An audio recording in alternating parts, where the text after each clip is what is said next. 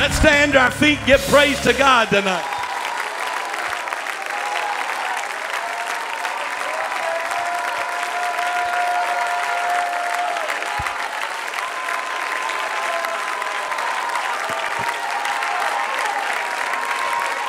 Wow, what praise! What praise! Something can happen right now. What praise!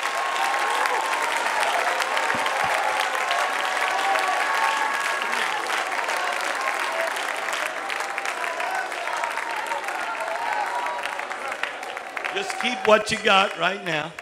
God's getting ready to do something great. I'm going to preach. Don't, don't worry. I'm going to preach. Well, I'm going to attempt to preach. I don't know what it's going to be, but it's going to at least attempt to be preaching. But I got this last week. This is from a man in our church, Wayne McGee.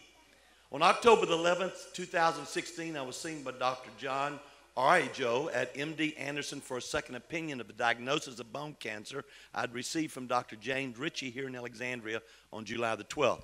Dr. Araujo said after reviewing all of my medical records and tests for the week prior to my appointment, he could not see any evidence of bone cancer. He told me for 13 years I've been he said, For 13 years, I've been looking at this type of scan to determine the severity of bone cancer. I hate to dispute another doctor's diagnosis, but I can see no evidence of any bone cancer. Also, told me that the treatment of prostate cancer appeared to be working as my PSA levels were dropping. After being prayed for on August the 7th, the last time Brother Tisdale was here, I had claimed my healing and felt a peace about it. And Dr. Araujo's diagnosis was the confirmation of my healing. Not only was he healed of bone cancer, he is healed of the symptoms related to my COPD. That's what God does. He just, God just messes around and heals bone cancer. When, when God's not even, he, he can just take care of any situation here tonight. And I guess I've been seeing miracles where we've been and at POA. I've just got the faith tonight that before I ever start, that God is going to allow healing to be in this room tonight. So if you came here specifically for healing for your body or for your emotions or for your spirit, just step out right now. If you came for healing, I want you to step up to the front, just like we do when we get the Holy Ghost. You came, God bless you, ma'am. That's it. You came for healing tonight. Come on right on up here. You came for healing. Come on, that's it, sir. You came specifically for healing. We believe in divine healing. There's a promise coming down your dusty road. That's it. If you don't mind, step over here, sir. That's it. Come on, brother. Come on, ma'am. That's it. Come on down the aisle. You came here because I told people to bring people that needed healing. So come on tonight. And would you do me a favor? Would the ladies get to my left and would the men get to my right? That, that, let's just do it that way because I'm ready to do something. I'm just moving. The Holy Ghost had none of this plan. Come on, ma'am. God's going to fill you with the Holy Ghost as well as give you your healing tonight. We believe that. That's it. Keep coming. It happened for you this morning. That's it. Keep coming. Come on, men. Come over here with me because I'm getting ready to do something. That's it. We're going to believe healing. Men, that's it. Unless you're, that's your companion, come on over here. That's it, brother. You can, ladies here and men over here. That's it. We're going to do something. You know what we're going to do? I have always found when I started praying for other people or other situations, God moved in my situation. And so tonight, it's not that you were selfish, but tonight, instead of all of us just laying hands on you, I'm going to ask you, lady to lady and man to man, to turn to that person that's beside you. Would you do that for me? That's it. Just turn to that person beside you, man to man. Would you lay hands on that? That's it. Lay hands. Connect right there, men. Now, what you're going to do is instead of you praying for your healing, and instead of you praying for your healing, and instead of you praying for your healing, or you praying for your healing, you're going to pray for that person beside you's healing. And while you're praying for that person, I believe God's going to heal you while you're praying for that person to receive their healing. I want everybody in this room to join hands, and I want you to hold it towards heaven. And now, God, through the power and the authority of your name, I command healing to come into this room right now.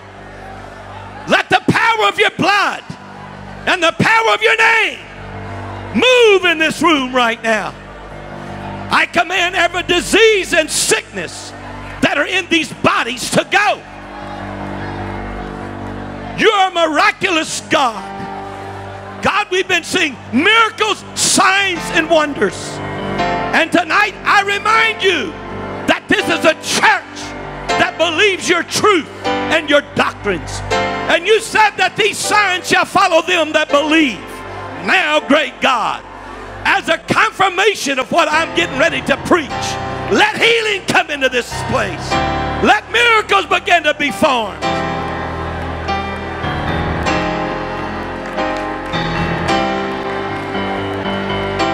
Speak it over you, gentlemen. I speak it over you, ladies. In the name of Jesus, I speak it.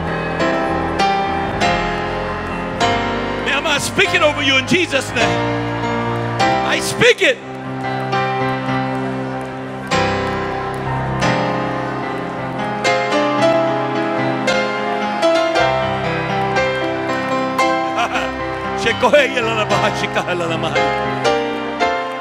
Now, here's what I want this whole congregation to do.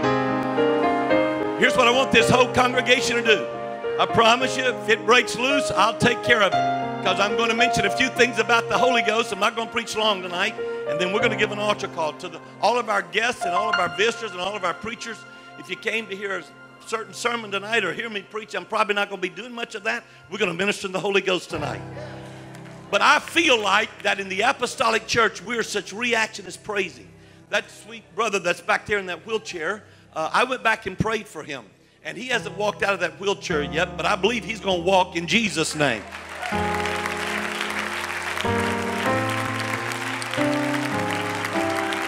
I'm just not into high blood pressure and fibromyalgia. I believe God, like I preached at the Kentucky camp, I believe God can give us people that get out of wheelchairs and blind eyes open up and deaf ears unstopped. Now, in the apostolic church, if that sweet brother would get up right now and run around this church, it would be over. You'd dance, fall out, would have to take some of you home drunk. So here's what I want to do, gentlemen and ladies in this congregation. I want to praise God as if what we've been praying for, we just received. Would you do that? Well, go ahead, brother. That's it. Instead of waiting to it happen, praise Him because it is happening. Well, look at you, brother. Go ahead. Praise Him, not because it's already happened. Praise Him because it is going to happen. Praise Him for your healing. Praise Him for your healing. I just sweet. Praise Him for your healing. Praise Him for your deliverance. Praise Him because He's answered that prayer. Though right now it may not look like it, praise Him anyway.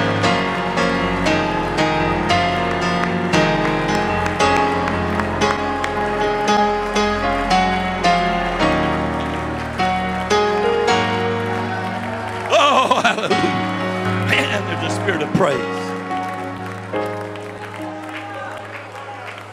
You can make your way back to your seat. And every step you take, you say, In Jesus' name, I'm claiming my healing. Every step you take, you say, In Jesus' name, I'm claiming my healing. Matthew chapter 5. In Jesus. That's it. Every step you take, say, In Jesus' name. I claim my healing. I claim my healing in Jesus' name. What a privilege it is to be here. And the Woodwards, they just unbelievable. You got an unbelievable pastor. Thank you for sharing him with us. Thank you for sharing him with the Apostolic Church. We're very blessed by your pastor, his wife, and his family. And then to see how that God brought Pastor Jack and Kathy into this church and their family, and how when Pastor Woodward is traveling, you're so secure and founded with, with uh, Pastor Lehman. I mean, has God been good to us or what?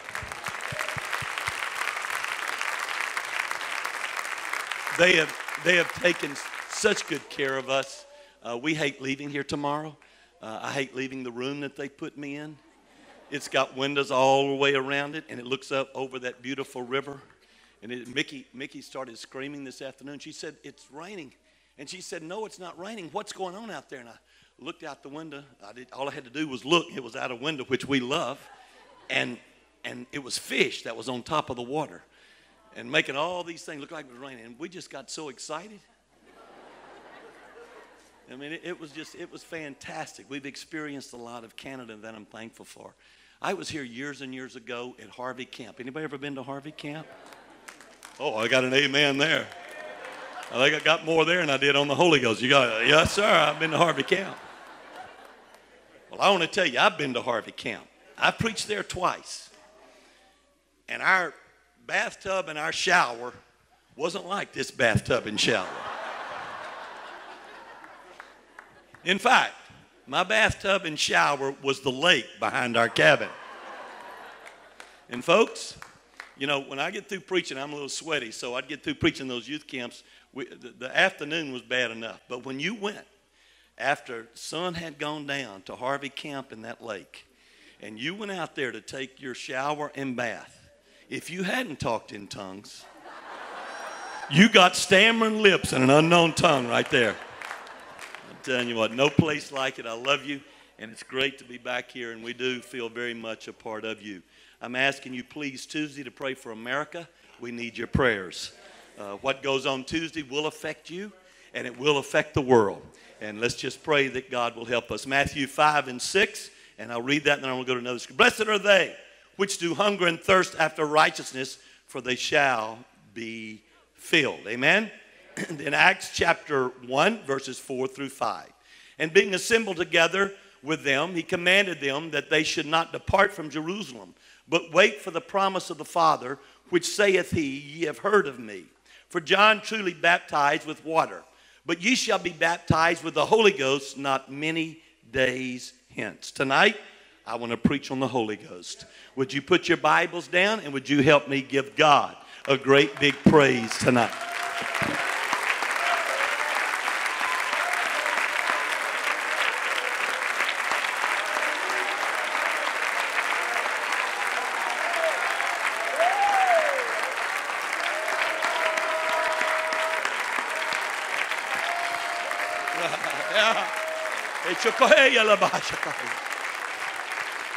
God bless you. may be seated. Thank you for standing so long. And I appreciate the honor that y'all have given us and the way that you have given such honor to me and Mick, and we appreciate it so very much. God has always, from the very beginning of time, had a desire to dwell with man. We don't even open our Bibles, but just a page or two, when all of a sudden we're thrust into this beautiful garden where that God formed man of the dust of the ground and he breathed the breath of life into him, and man became a living soul. And God looked at that and said, I can do better. And so he made a woman. I just got all the women. I just got all the women vote right there. Okay? But we know the story. And God placed in the garden a tree, and he, he told them not to touch that tree. And he was there to have fellowship with them, and he was there to experience with them and to have fellowship with them and to walk with them in the cool of the day. And they go to the tree like a martin to its nest. It's amazing all the hundreds of trees that were there, but the one he said, do not touch, they went directly to. And you know that God put them out of the garden, but before he did, it wasn't that when they ate that tree that all of a sudden they felt so sinful. That, that began to happen, but it was when that God came looking for them and God said, Adam, Adam, where art thou? And that's a good lesson for we men. He wasn't looking for the lady, he was looking for the man. Adam, Adam, where art thou? And from that very call, when they were placed outside of the garden, God continued to find an opportunity where that he could get back in the presence of man. So after a while, God brings Moses to the top of the mountain, and there God begins to give him the dimensions and begins him to give the layout of what is called as the tabernacle plan. And he gave them specifically each uh, piece of furniture and what each piece of furniture represented. And I pray that every morning. But in that tabernacle was the Ark of the Covenant. And that's where God said that I'm going to dwell. And he said, This is going to represent me. And so he was placed in the Ark of the Covenant. The presence of God was. And it was a shadow it was a smoke by a cloud by day and a pillar of fire by night. It was God directing them and God leading them. And as we know, Israel turns and walks away, and then God says, I'm going to go again. And he comes to Solomon's temple, and there he gives this magnificent building that cost millions of dollars. Just the priest's garment was like $56,000. It's magnificent building, but when they went to have the dedication, they made sure of one thing, that the Ark of the Covenant was there. And when they brought that in, God was so pleased that the minister could not even minister. The glory of the Lord filled that house because once again, he was in fellowship with man. When you go to Zerubbabel's temple, after Solomon's temple was torn down, again, Zerubbabel's temple was there. God finding a place where that he could fellowship with man. And then we know how, as I mentioned this morning, 400 years of silence. And God said, I have tried all of these things, but now I will make me a temple and I will go dwell there. And you know the story. They crucified him and they hung him there on the cross. And there Christ died, the Son of God, the flesh of God. And Christ died. So we have this picture and we have this understanding that Easter comes. But God still had a desire to dwell with man. So God said they destroyed the tabernacle, they destroyed the temple, they destroyed Zerubbabel's temple, they destroyed my temple. So my last plan is, is I'm going to place myself somewhere where that, that cannot be attacked or destroyed, and I'm going to get on the inside of them. And when you read Exodus 25 and 8, and let them make me a sanctuary that I may dwell among them.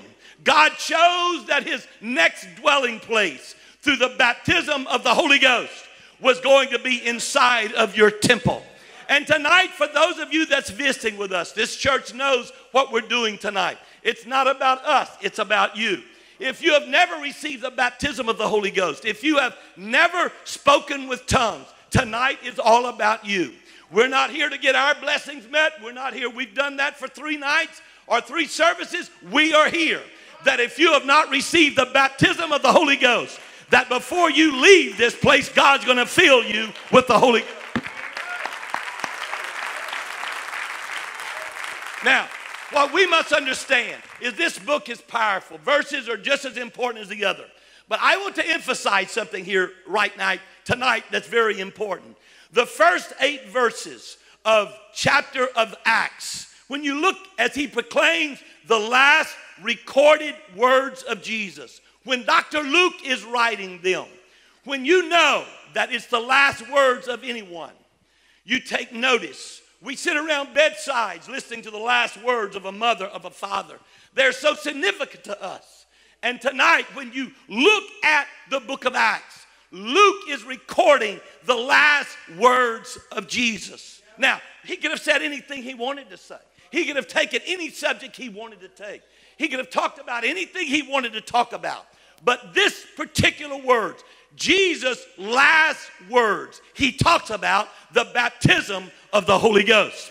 And he begins to talk about how important it is and that you need to go to dwell and receive it. Even though the Lord had been with his disciples personally for three and a half years, which means they were privileged to receive the greatest teaching that any human could ever have heard. They needed the baptism of the Holy Ghost. I'm going to pause here for those of you that's never had the opportunity to be baptized in the name of Jesus. Tonight would be a great night for you to be baptized in the name of Jesus. And that there is always a great discussion about whether we should baptize accordingly, word wise, uh, 28 19 of the book of Matthew. And people said, I would rather take the words of Jesus than to take the words of the apostles. Let me tell you something. That would be contradictory to the word of God. Second of all, let me tell you something. The apostles did what Jesus told them to do in Matthew 28 19. They fulfilled that scripture, and I'm going to explain that to you. Do you really think do you really think that Almighty God would robe himself in flesh and come to this earth and give his life and go through every, listen to me, young people, go through everything he went through for his disciples not to have a full understanding about what he wanted propagate when he left. They knew how to baptize. They knew what to do. They knew where they to go. So he told them, let me tell you something. You're going to the upper room and God is going to baptize you with the Holy Ghost. And that's where you get Acts 2 1 through 4, when he says, And when the day of Pentecost was fully come, they were all with one accord in one place. And suddenly there came a sound from heaven as of a rushing mighty wind, and it filled all the house where they were sitting. And there appeared unto them cloven tongues like as a fire, and it set upon each of them. And they were all filled with the Holy Ghost and began to speak with tongues as the Spirit of God gives the utterance. Those of you that's visiting with us tonight, what you have to understand that there is a characteristic of this outpouring, this phenomenon. When they were filled with the Holy Ghost, you will find that they all spoke with tongues. In fact, in the Bible, it teaches that speaking with tongues is the initial physical evidence that a person has been baptized with the Holy Ghost. There is no infilling without this particular sign. The prophet Isaiah, some 750 years prior, had predicted this phenomenon and was quoted in Isaiah 28 11 and 1 Corinthians 14 21. There are five accounts of the outpouring of the Holy Ghost in the book of Acts. And in three of those accounts, that person spoke with tongues. To those of you in this room that's never spoken with tongues, I want to tell you that I have, and hundreds here have, and four did here this morning that's in this room tonight. And tonight, before you leave here, you're going to be speaking with tongues.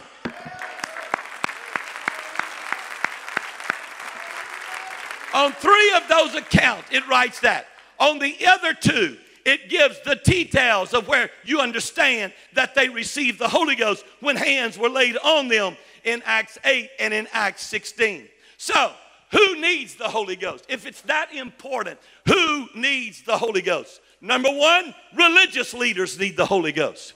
When you look at the 12 apostles who were with Jesus for three and a half years, they healed the sick, they cast out devils, but yet they needed the Holy Ghost just because they could cast out devils didn't take them away from needing the Holy Ghost. They needed the Holy Ghost so desperately that Jesus told them to tarry in Jerusalem until they be endued with power from on high.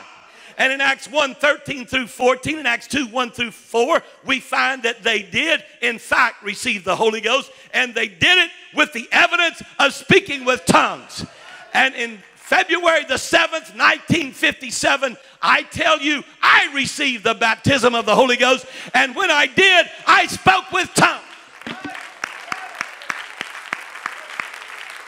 I started preaching, and I started in Minden, Louisiana, and the interns know my whole story about that, but I started in, uh, excuse me, in uh, uh, Winnfield, Louisiana, and uh, God gave us a great revival. I won't go into that because of time. But uh, three revivals later, after weeks and people getting the Holy Ghost, Brother Barnes called me and he invited me to Minden, Louisiana.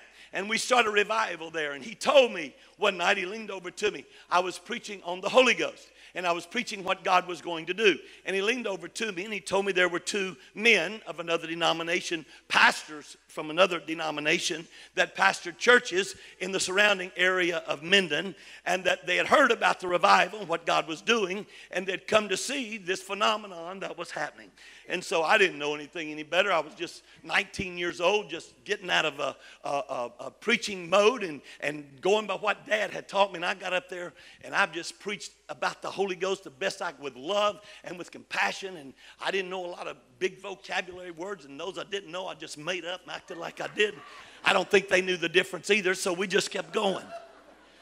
And when I gave the altar call, I, I looked, and these two men, wives, grabbed them by the hand and they started shook it loose. Well, the wives just came on down anyway. Well, when they did, we got behind them, and one of them's name was Hicks. I remember that. And they came down the front, and I began to instruct them how to receive the Holy Ghost. And all of a sudden, I gave the command, and God baptized their wives with the Holy Ghost. And then I looked, and another, that pastor began to speak with tongues. Well, Brother Hicks couldn't get it.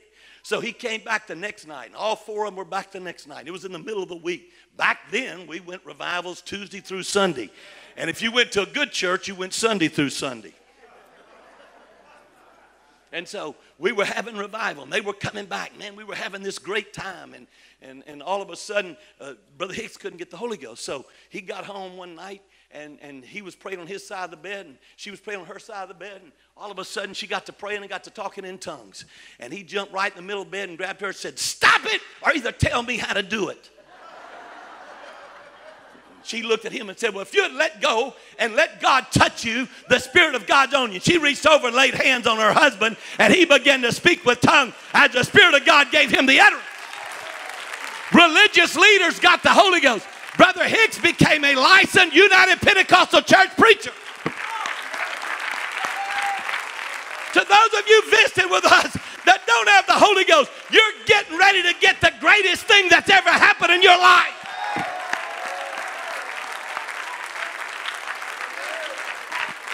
So religious leaders need the Holy Ghost. It doesn't matter what religion. Religious leaders need the Holy Ghost. Another group of people need the Holy Ghost are those that are highly favored and blessed people. They need the Holy Ghost. The angel Gabriel said to Mary, the mother of Jesus, in Luke 128, he said, Hail, thou that are highly favored, the Lord is with thee. Blessed art thou among women.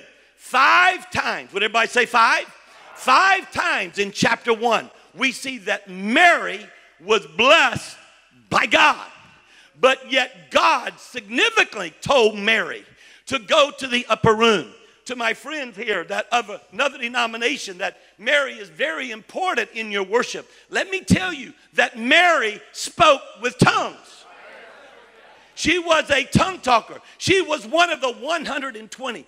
If it was not for you, why would Jesus, that we know from the cross that he loved his mother so dearly, why would he ask her? Let me rephrase that. Why would he command her to go to the upper room and get an experience that she was going to be made fun of? She had done been scorned when she told them that what was inside of her was not of Joseph. She had already been laughed at. Why would Jesus ask her to go be laughed at again if it was not essential and important? He told her to go to that upper room and let God baptize you with the Holy Ghost. And people that love God and people that are blessed, they still need the Holy Ghost and speak with tongues.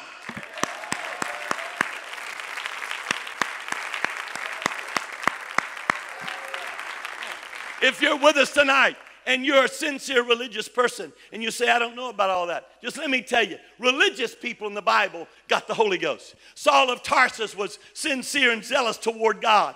And the Bible said he was exceeding mad against Christians in Acts 22. Yet he loved God. After his Damascus road encounter with Jesus, Ananias came to him and said, Brother Saul, the Lord, even Jesus, has sent me that thou mightest receive thy sight. And here's the key be filled with the Holy Ghost one of the greatest theologians that you will find in the Word of God was Paul. And yet God told him, You've got to receive the Holy Ghost. I thank God for your religion. I thank God for all of your traditions. I thank God for the way that you have loved me in the way that you have known to love me. But I want to tell you that I've got something more for you than just religion. I've got something more for you than mother and daddy's religion. I've got an experience that's going to touch your life and that's going to change it forever.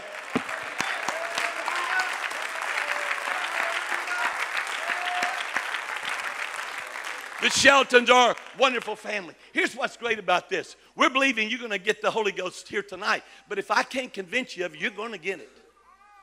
You're going to get the Holy Ghost. We're going to put the hounds of heaven on you. You may not get it now, but you're not going to get away from what you feel.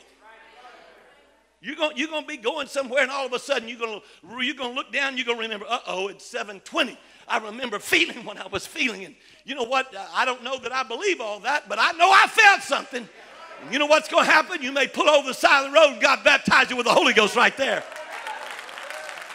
We had the Shelton family in our church, and Brother Shelton couldn't get the Holy Ghost, and he was driving that tractor and he was plowing his field. He was a farmer in Louisiana. He was plowing his field. He said, God, everybody in my family has the Holy Ghost, and I hadn't been going to the front, and I hadn't really been wanting but God, I really do want it. And he said, I repent of everything. Would you baptize me? And while he was driving that tractor, God baptized him with the Holy Ghost. I had a cousin, my cousin Rayford he could not get the Holy Ghost, and he lived in Dallas, and he was on the tow road between Dallas and Fort Worth, Texas. And he got to playing his music, and the Holy Ghost got on him. He pulled over on that tow road. He got in the back seat. He said, God, I've been seeking for it in church. I've been trying to get it at all camp meetings, and it seems like I can't get it. But I'm not leaving here until you baptize me with the Holy Ghost. And on the tow road between Dallas and Fort Worth, God baptized him with the Holy Ghost.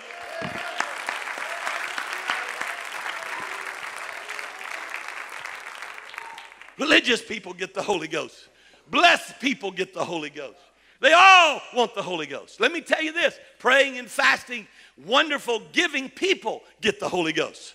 Cornelius was a devout, praying, fasting, generous man who needed the Holy Ghost. This God fearing Gentile needed the Holy Ghost so desperately that God sent to him Apostle Peter, the man with the keys to the kingdom, to preach to him so that he and all of his household could receive the Holy Ghost and be saved. And the Bible says, while Peter was preaching, the Holy Ghost fell on them and they began to speak with tongues and magnify God. You know the story, your pastors have taught it to you inside and out. That is the Gentiles. And the reason why they were not baptized first in the book of Acts is because if they would have baptized a Gentile before they received the Holy Ghost, they would have never had an opportunity. But when those Jews looked back and saw a Gentile throw up his hands and that God had filled him with the Holy Ghost, that's why they said anything else God wants to do, we're going to turn him loose to do it. So let me tell you in this congregation, if you're here tonight, if you're praying people, if you're fasting people, if you give to God, if you love God with all your whole heart, soul, mind, and strength, if you go to His Word every day, if you're a person of prayer, but yet you've never received the Holy Ghost, tonight is your night. It's not to get you to join this church. It's to get Christ in you, the hope of glory. It's to baptize you with an experience like you've never had.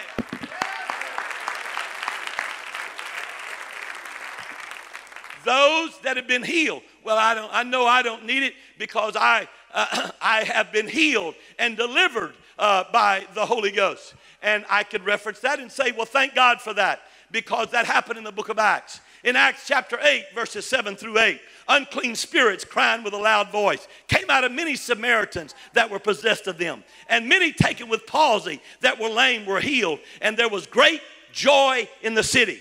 They had repented, they had joy, they had people that was given, getting, uh, getting healing. But Peter and John came from Jerusalem and prayed for them that they might receive the Holy Ghost. Even in the midst of healing, even in the midst of the mighty outpouring, even in the midst when everybody was happy and shouting and dancing and praising God, they hadn't spoken with tongues yet. God said, even though you're doing all of that, and I may be doing signs and wonders in your church or in your life, I still have the baptism of the Holy Ghost that you need.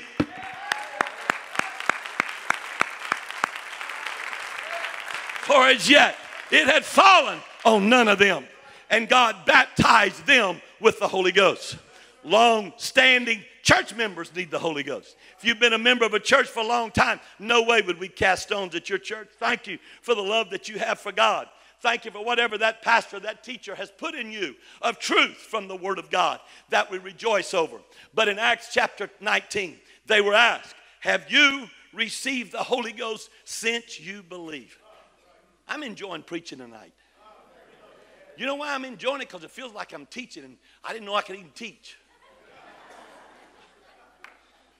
In Acts 19, he said, Have you received the Holy Ghost since you believed? Good point right here.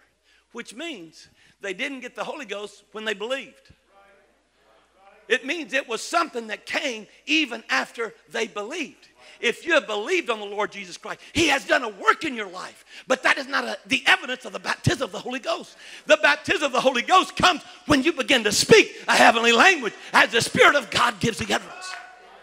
And then Paul asked him a very important question. He said, How then were you baptized? And he said, We were baptized under John's baptism. How many, who, who, how many in this building thinks that's John the Baptist? Would you raise your hand? You believe that was John the Baptist? I, I believe that was John the Baptist. I do. It's okay. I know I caught you off guard there.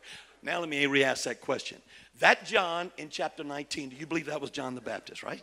Okay, I do too. So let me ask you this question. Who baptized Jesus? Who baptized Jesus? John the Baptist.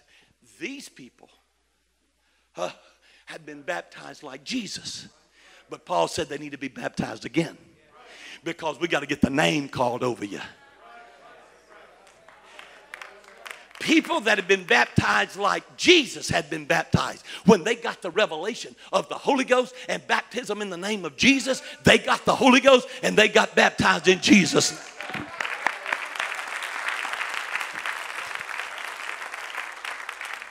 So you're going to get the Holy Ghost tonight. It's going to fall on you. It started in my family years ago. My, my grandfather was a very religious man. They were some of the greatest Christians that you would want to meet, and they were in Plymouth, Indiana.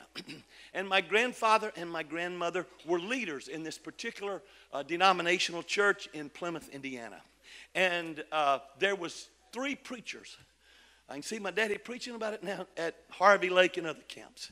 There were three preachers that came to that, that town. They put up a brush harbor. And one night, my grandmother harnessed up, Daddy said it was a Reno, was the horse's name, and the buggy, and she went to that, that meeting. And when they gave the altar call, she went to the front, and God baptized her with the Holy Ghost. And she got such a dose of the Holy Ghost that, I mean, she was drunk in the spirit. Finally, she goes out, gets her horse and the buggy, and she gets home and she starts planning. She because they were very well respected. My grandfather was the head deacon. He was the song leader of this church. They were very well respected. And if you will know, back in that day and time, you didn't nearly about uh, associate with a holy roller. And so it was, it was a significant thing that had happened to her. So she planned her night. She said, When I get home, I'll just take the door and, and turn it real quietly, and, and then I'll just go in there and I'll slip in bed, and he's already asleep, and he won't even know I'm there.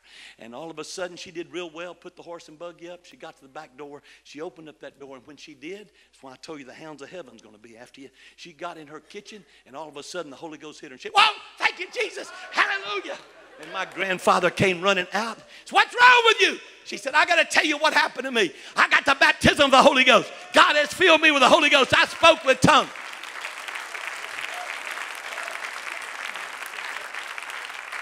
He said, You did what?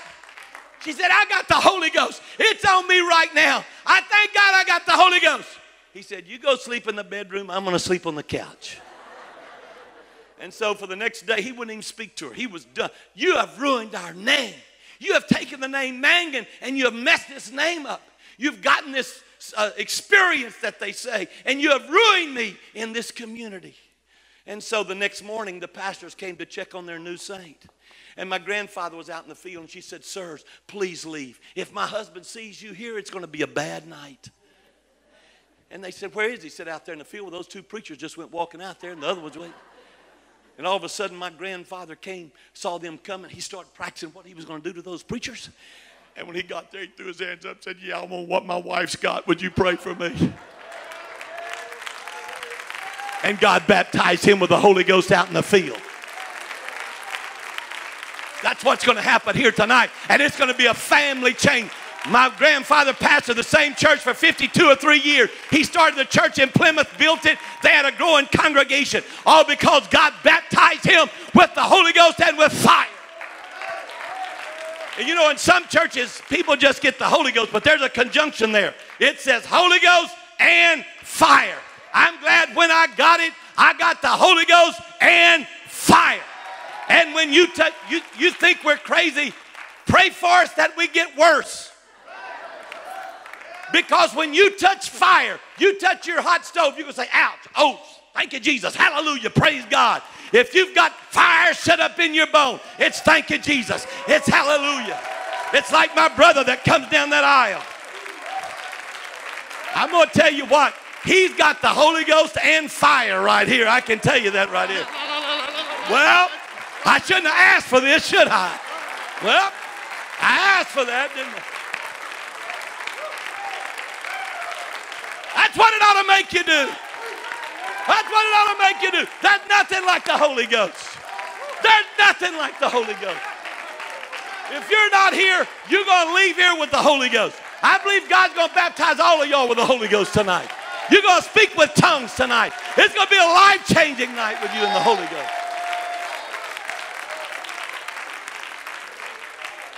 Nothing like the Holy Ghost. There's nothing like it. It's the greatest thing that you've ever had. It's the greatest thing you could ever receive. Paul said, liars. Why do we act like we act?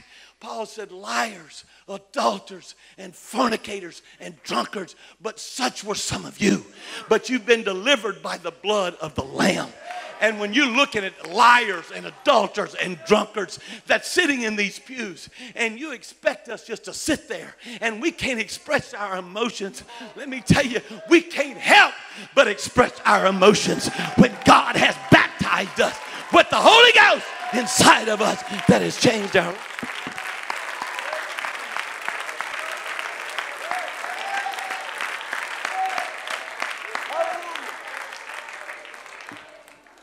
as crazy as you think.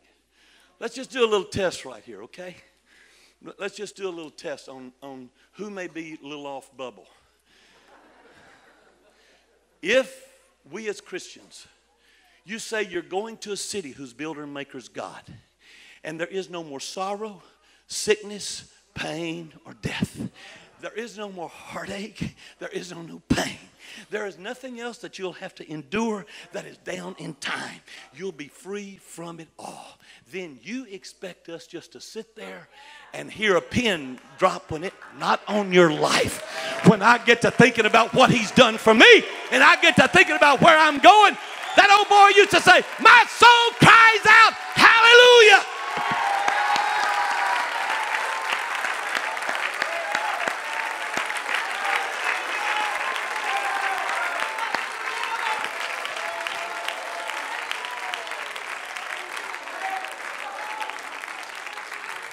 John Bennett. John Bennett in Alexandria. He was one of the top dope dealers in Alexandria a few years ago. I mean, one of the top street guys in Alexandria. And he was pushing drugs. Uh, the police department got together, did a sting on him, busted him, put him in jail. He got bond and bonded, bonded out. When he bonded out, he came to church. And when he came down the altar, he got the Holy Ghost. And his court date was a few months away, and he started living the life. And we started working with him, put him through all the courses, and all of a sudden he decided he wanted to join the choir. And brother, he was a shouting machine. He loved praising God. And we put him in the choir and he was up there singing. He just worshiped God. Well, during the political season, Brother Woodward to tell you a little bit, our, our church is very high profile in our city and in the state of Louisiana. And during that particular time, our U.S. congressmen and U.S. senators come, and usually those that's running for governor will come by, and it's quite a, a time for those couple months ahead of election. And so it was happening at, at, at uh, the POA. And my mother had sung, and it was the deadest service I'd ever been in. When my mother can't crank a service, it just can't be cranked. It's Pat's cranking when she can't crank it. Daddy put Ruby up there. He, I, I didn't think, I, maybe he must not have prepared that night because he wasn't ready to preach or something. He put everybody up there, I guess, hoping the service, and it was dead as it could be. It was dead, dead.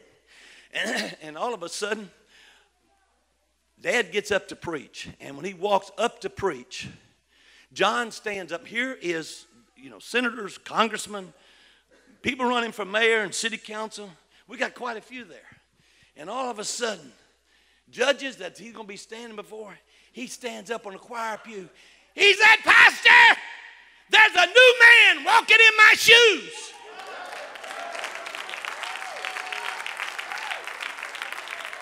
And when he did, what daddy couldn't crank, what mother couldn't crank, what Ruby couldn't crank, what Mickey couldn't crank, what Anthony couldn't crank, God cranked. I mean, people start getting the Holy Daddy didn't get to preach. That, nobody else got to sing. People started falling all over the elected officials and those that were running for office. They were praising God with the baptism of the Holy Ghost. He comes to his court time. He goes to court. And the judge that he was appearing in front of, he saw him after church that night, was at that service. He said, I'll see you in court in a couple of weeks. He said, Pastor, that's not too hot, is it? I said, Well, it didn't sound too hot, but we'll see what's done there. So he goes to court. When they walk in the room, the judge tears up. He said, I've been doing this kind of work for years, and never have I seen anybody's life change like this man's life was changed. He said, I want him turned loose. I want his record completely wiped clean. He's never done, he had done a bunch of stuff. You wipe his record clean because that man's life has been changed. And he died full of the Holy Ghost with what the things that God had done.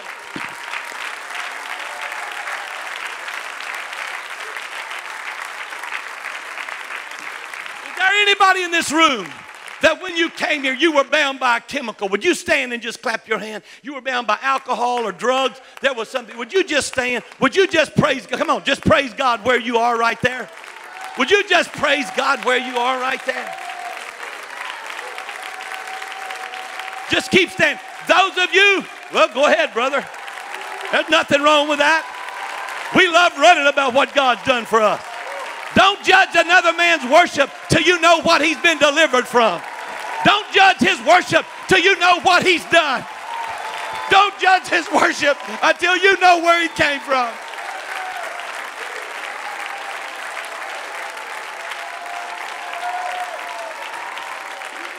Those of you that came from another religion, you were a Christian, you loved the Lord before you ever got to keep standing. Would you stand and join them?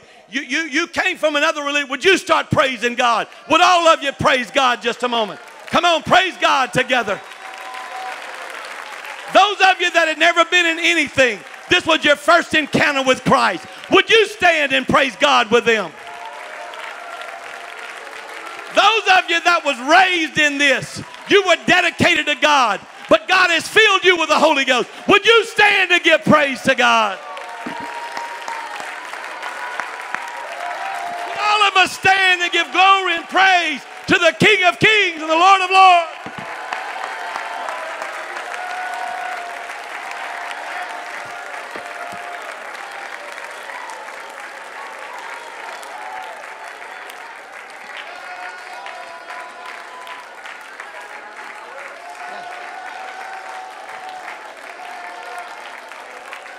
getting ready to happen.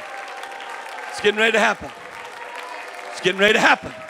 I promise you, church, you got to help me just a moment. Don't leave me, elders. Don't leave me right here. It's getting ready to happen. God's getting ready to pour the Holy Ghost out in a significant way here tonight. If you don't mind, and I, I don't do this often, and if Pastor teaches you against this, he will straighten you out Wednesday night when I'm gone. Because I don't do this often at POA. Very seldom do I do this. But would you turn to somebody and ask them, Do you have the Holy Ghost evidence for speaking with other tongues? Would you ask them that? I'm asking you to do that. Would you do that for me? Okay, here we go. Here we go, everybody. If they tell you no, would you say, Come on and go with me? We're going to go to the front of the church. Well, go ahead, sister. That's okay. Go ahead and talk in tongues back there. That's okay. If somebody told you no, would you bring? It's going to come on right there. Isn't this wonderful? Come on, take them by the hand if they told you no, and bring them on to the front of the church. God's going. We believe God's going to fill them with the Holy Ghost tonight. Thank you, ma'am, for coming. Isn't this wonderful? Those of you that hadn't spoken with tongues, come on. Thank you, young people, for bringing people. Come on, people, stand right here. I said, Come on, buddy. You're going to get the Holy Ghost tonight. Come on, ladies. That's it. Come on, man. Bring them in here. You're going to get the Holy Ghost tonight. That's it. You're going to get the Holy Ghost tonight. You didn't get it this morning. You're going to get it tonight. Which one of you don't have the Holy Ghost? You're going to get it tonight in Jesus' name. We're going to speak it by the gift of faith that God's going to fill. Come on, ladies. Come on over. here. That's it. Come on, young people. This is wonderful. That's it. Just keep coming over here. Come over here with me. That's it. God's going to fill you with the Holy Ghost. Come on, baby. God's going to fill you with the Holy Ghost tonight. We're going to believe. You come up here. You, children are present. That's it. Get, get right on up here. That's it. They're still coming. God bless you. Ma'am, I saw y'all when y'all came to church tonight. And you know what? Come here, ma'am. I saw you when you came in tonight. And I, I told Pastor, I said, Have they gotten the Holy Ghost? And he said, I really don't know yet. And I said, Well, they're going to get it tonight. And you're going to begin to speak. What language do you speak other than English? French and Lingala. French? Yes. You know what? You're going to speak something that's not English and it's not French. It's going to be an unknown tongue. And you know what? There's not going to be a professor that teach you. It's going to be the Holy Ghost that teaches you. And you're going to be begin to speak as the Spirit gives you the other. We got a great crew up here, and we believe that God's going to baptize. And we believe that God's going to baptize. Anybody else tonight? Anybody else that may have been a little scared to come? We believe that God, come on, keep coming. We're waiting. Isn't this wonderful? I don't want to leave. You got a child that needs the Holy Ghost tonight? Bring your children. We believe that God's going to baptize with the Holy Ghost. I need this church to help me just for a moment. Would you gather in and gather around all of them? Just get as close as you can. Come all the way down those aisles because we're getting ready to do what we did this morning. Would everybody in this church help me come to the front right now? Would you come? Like I said this morning, if you want to go to heaven, come to the altar just a moment. I'm not going to hold you long. I'm going to turn this to Pastor. But God's going to do great. That lady's still having a great blessing of the Holy Ghost. She can't hardly contain herself back there. Thank you, church, for coming. That's it. Come on. Those of you visiting pastors, come on with us tonight. If you've got people with you, that's it. Bring the babies. Get close to God.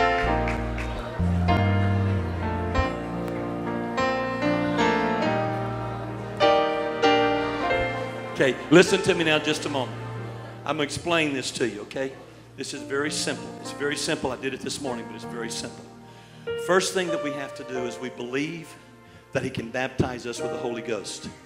And we've got to believe that He is and that He is a rewarder of them that diligently seek Him. We got to believe that. We got to believe that when we ask God to forgive us, that He will forgive us of all of our sins. Because we can't get the Holy Ghost unless our sins are forgiven. And let me explain something right here. Forgiveness is not remission. Forgiveness is like I would spill, and I don't know why I'm doing all this. I guess I'm in this teaching mode that I never get on when I go places to preach. But if this was ink and I would walk in your house and, and I would spill this ink on your carpet and it would do that.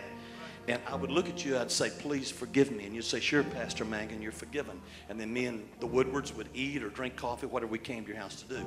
But when I left, that spot would still be there until the service masters, the cleaning people came with their chemicals to get it out. God forgives you here, but they're not remitted. It's when you get in the name of Jesus and he puts you under, that he comes and takes over. He washes away the sin. That's why tonight, you just don't want to ask God to forgive you before you leave here, even if you don't get the Holy Ghost. Because in the Acts 2, he said, Repent, be baptized, every one of you in the name of Jesus Christ for the remission of sin, and you shall. When you get baptized in Jesus' name, it becomes a shall. It removes to just the Holy Ghost. It becomes you shall. So if you haven't been baptized in Jesus' name, even your children, you want to get them baptized because it becomes a shall. Okay? So repentance. And then it takes the faith that you're good enough to get it and that God's going to give it to you. And then I'm going to give the command and I'll do like I did this morning. This church is going to help me shout and we believe that everyone, we're going to talk in, how many talked in tongues this morning? Would you raise your hand? Look at that. Look, look around. Look around at you. They all talked in tongues this morning they're going to talk in tongues tonight. So what we're going to do is we're going to repent again, ma'am. God's going to fill you. I'm believing. I know you're here this morning, but I'm believing God. I'm believing God with you. God's going to fill you with the Holy Ghost. And then when I get through, we get through repenting. I'm going to stop and talk to you again. Then I'm going to give the command, and this church is going to shout. You think they've been loud? They're getting ready to get loud. And we're going to shout to the Lord, and God's going to baptize you with the Holy Ghost. Amen? We believe on this mission service, what this church sent two, three hundred thousand dollars a year around the world to do, it's for this right here. We live for this moment right here. This is what our life is for right here. People gave thousands of dollars this morning. This church committed to almost $300,000 for us to do what we're doing right here tonight. This is mission night. This is mission. So right now, the way you pray, the way you pray, buddy, the way you pray, you just ask the Lord to forgive you. Church, would you help me now? Would you raise your hand? Let's all begin to repent. As you would talk, God, forgive me of every sin. That's it. Just like you would talk to me or talk to your father. That's it. I'm not going to leave. That's it. You're doing great. Forgive me, God. Look into my heart. Any sin there, God, forgive me of all of my sins. I ask you to forgive me, great God, of everything that I've ever said or done. Forgive me, Jesus. Forgive me, Lord. I ask you, anything I've said, jealousy, envy, strife, any sins, God, that we don't see as major sin, we need to be forgiven of all of our sins. Forgive us, God, as we seek your face right now. In the name of Jesus. In the name of Jesus. Now, li- listen, listen to Pastor just a moment. Listen to me just a moment. How many of you believe that He's a big enough God and that He loves you enough that He just forgave you? Would you, everybody that believes this room, He just forgave? I do too. I'm gonna raise both of them. I believe He forgave me. So there is nothing hindering me from getting the Holy Ghost except myself. And when the Spirit of God gets on you, see, see how your hands doing? Go ahead, keep, keep letting your hand do this. See how your hands doing? You just let your tongue, you let your hands do that. Let your tongue do that. Reason why God chose your tongue is because it's the most unruly member of your body. And He knows when He gets your tongue, He's got you. So just like you let, let your tongue do that in just a minute. It's okay. Let your tongue do that in just a minute. That means you yielded to Him. And what now that you've repented and God's forgiven you of your sins, when I give you the command, I want you to throw your hands up, and from your innermost being, I want you to begin to cry, Hallelujah, Hallelujah. And then we believe that it's going to begin to speak as the Spirit gives you utterance. You're going to speak. Everybody say, I. God's not going to come down and get your tongue. You're going to begin to speak as the Spirit gives you the utterance. As the Spirit leads you, you're going to begin to speak a heavenly language. Now I'm going to give you the command, and church, you know what I do right here. When I give the command, don't you pray for anybody else. You pray for God to baptize you, and you let it be like a roaring Niagara Falls in here tonight when God baptizes us because we believe the command is going to come. Okay, those of you wanting the Holy Ghost, you ready? We believe that when we throw our hands up and we let that hallelujah go from our innermost being, God's going to fill us tonight. On the authority of the power of the name of Jesus and by the authority, God, that you've given me to preach in, I command you to receive the Holy Ghost and speak with tongues. Come on, church, let a shout go up. That's it, church. Move in, pastors. That's it.